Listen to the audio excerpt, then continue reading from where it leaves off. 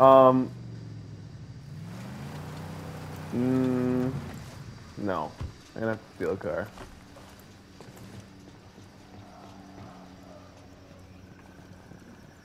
This is kind of a bad situation I've got myself in here. What the fuck? I gotta show you that at some point. uh, I don't know what the fuck happened.